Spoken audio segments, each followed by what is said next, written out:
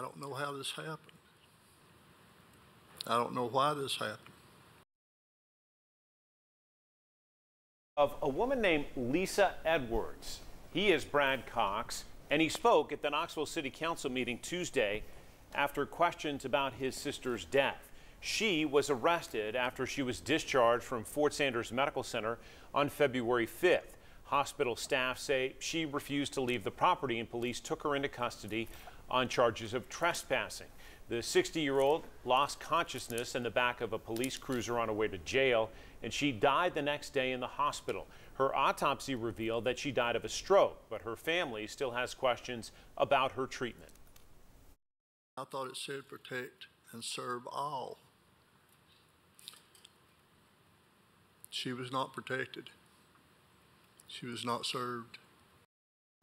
Fort Sanders Medical Center and Knoxville Police have both opened their own investigations tied to this case. The Knox County District Attorney General on your screen now cleared the officers involved in this case of any criminal wrongdoing. And